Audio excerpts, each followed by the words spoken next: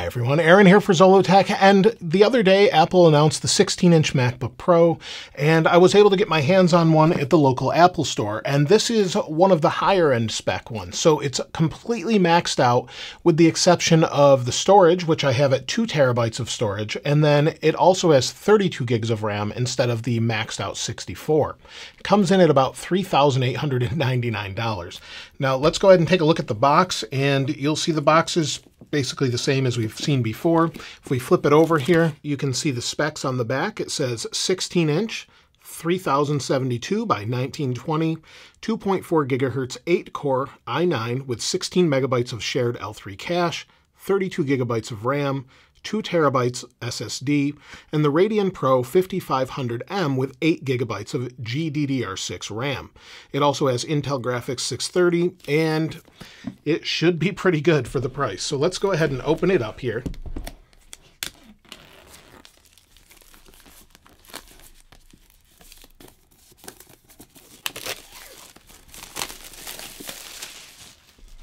Now the 16 inch is a replacement for the 15 inch MacBook Pro. This is actually a 2007 version that was maxed out as far as its specs, so we'll compare some of this in a little bit. Let's go ahead and see what's in the box.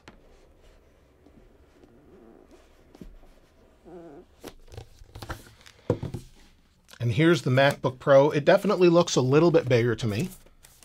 And it is a little bit bigger. And then in the box, we've got our literature here.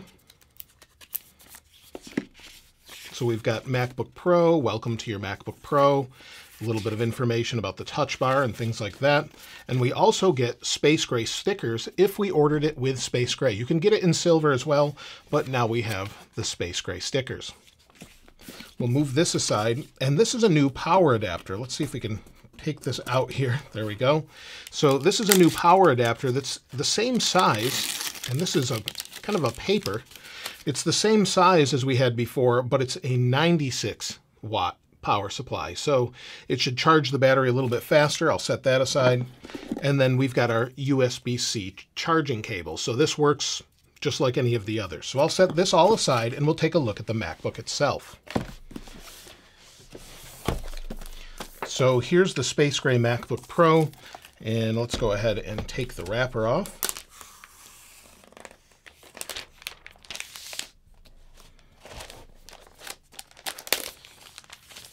It's definitely heavier than the, the previous generation. Let me show you side by side. So you'll see it's a little bit wider, and then let's move it this way here. It's a little bit deeper, and then also it's a little bit thicker. And I don't know if you can see that edge. Let me bring them together here. And there's actually a thickness difference. It's about almost a millimeter, and there's a slight weight difference, but you can see the difference in size right here. So it's definitely a little bit bigger, but honestly, I've said for years, I don't mind if it's bigger if it does the job. Now we still have the Thunderbolt ports on the side along with the headphone jack, and we have two Thunderbolt ports on the other side as well.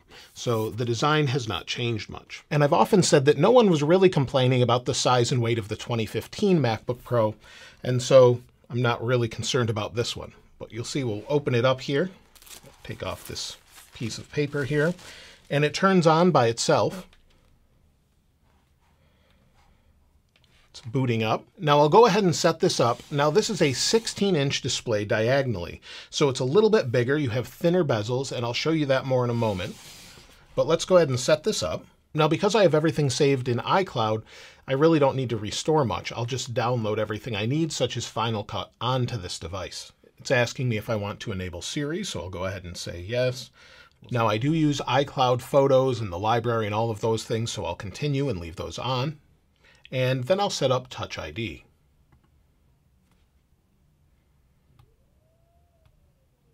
Now it's asking me if I want to use light mode or dark mode. I'll put it on auto and then I'll hit continue. Then you can see the display without True Tone.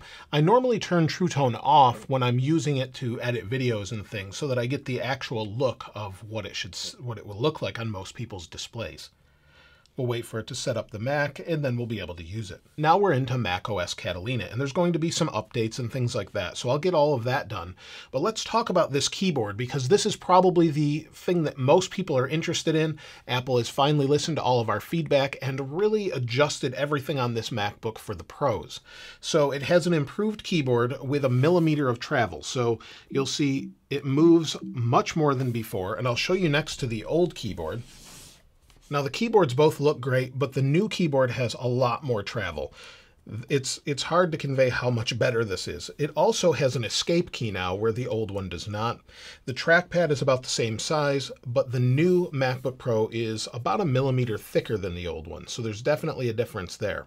Now to give you a comparison, if you've ever used a keyboard from the iMac Pro, these keys are very similar to that as far as travel and everything else. So they're very, very similar in, in the way they feel. And we now have our inverted T for the arrow keys. It's just a much better MacBook. Now, while I'm waiting for the install of this update, it's about 4.73 gigabytes, so it's going to take a while, but this particular MacBook has a variable refresh rate display. So if we go back to displays here, we can adjust the refresh rate. So we can turn off True Tone and turn off automatically adjust brightness, but you can also change the refresh rate from 47.95 hertz to 48 to 50 to 59.94 and 60. So you have all of these different options as well. Now another thing to note is this has the largest battery allowable by law to put on an airplane when you want to travel. So it has a 100 watt hour battery. So anything above that, you can't bring it on a plane. So Apple's brought it right to the limit and you'll be able to fly with this. And that will give you about an hour more battery than the previous generation MacBook Pro. And then you'll be able to maybe get a little bit more battery if you're trying to edit a video when you're on the go or things like that. Now I'm going to get all of this set up and once it's done, I'll come back and then maybe we'll compare compare it with the 2017 MacBook Pro, some specs, and see how it does as far as exporting video, because that's really what I'm going to use it for, but we'll see how it does with a couple other things. I'll try out the keyboard a little more, and then we'll see how it goes. Now, I have just a few final updates to install, and this has been really nice to use a new keyboard. The keyboard before was fine, but this is just so much nicer. When you go back to it, it reminds me of using a 2015 or 2013 style MacBook Pro, and it's definitely better to use. So if I say, hi, how are you today? You'll hear that it's not very loud, so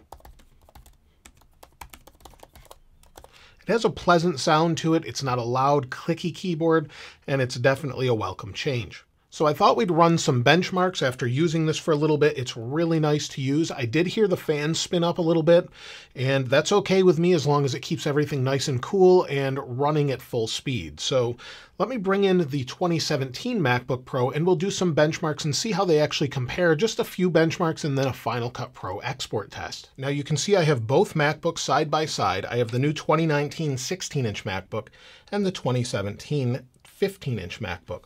Now the displays are noticeably different in size, but I noticed that the 2017 actually pushes down a little bit further if you want to push it away from you. It's not a big deal, but it's just something I noticed. And also the screen brightness is basically identical. So if I turn the screen brightness up here all the way, we'll do the same here.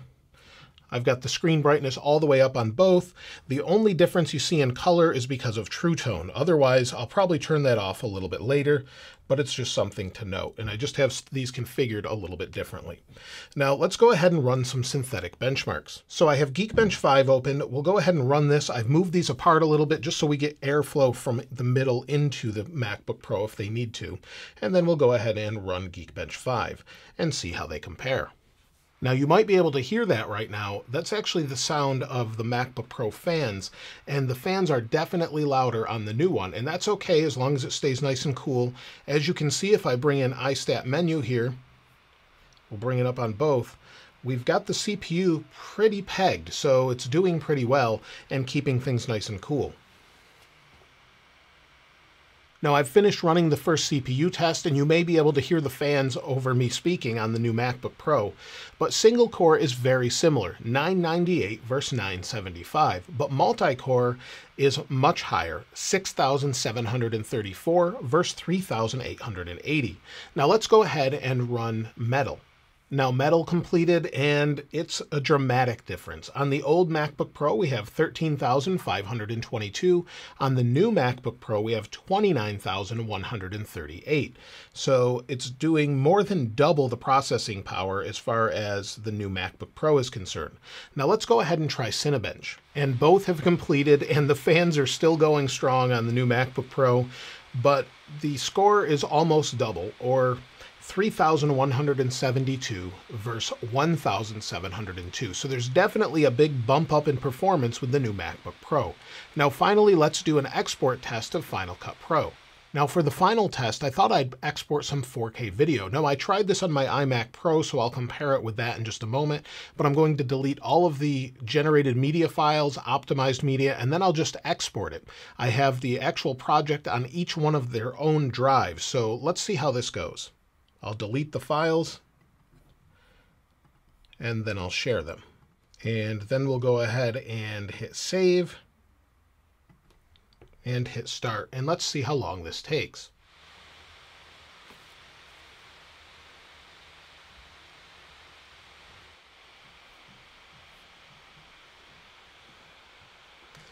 Now, both have completed, and I think the results were pretty impressive for the new MacBook Pro. In fact, the iMac Pro was even slower, but none of it was rendered in the background. Had the iMac Pro actually had been rendering while I was editing, it would have made a very big difference, I think. But the new MacBook Pro is definitely impressive as far as that goes. And finally, the fans have spun down.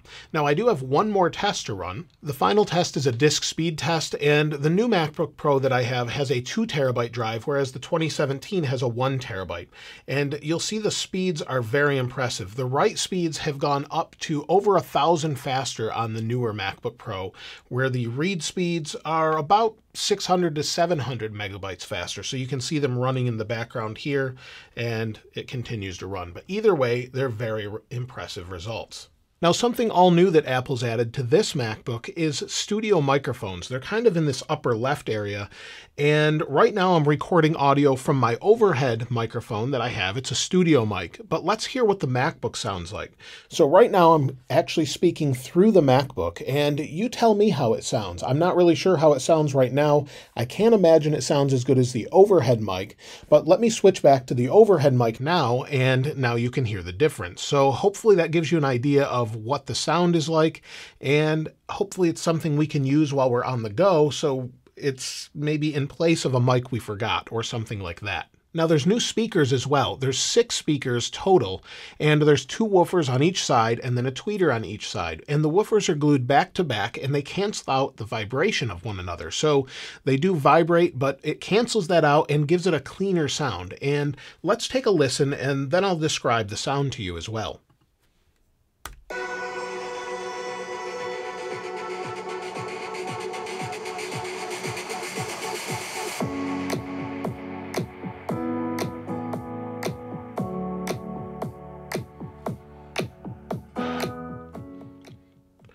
They have a really even sound to them. It sounds very much like a HomePod. So if you've ever heard a HomePod, it's along those lines with less pronounced bass since the speakers are actually smaller, but it sounds really clean. Now, I'm really excited to have a MacBook Pro this fast while I'm on the go. Hopefully, it will have pretty good battery life, although it's down to 25%, but I installed some updates, did all of those benchmark tests, so that's actually pretty impressive. The overall design is great. I'm glad to have the escape key back.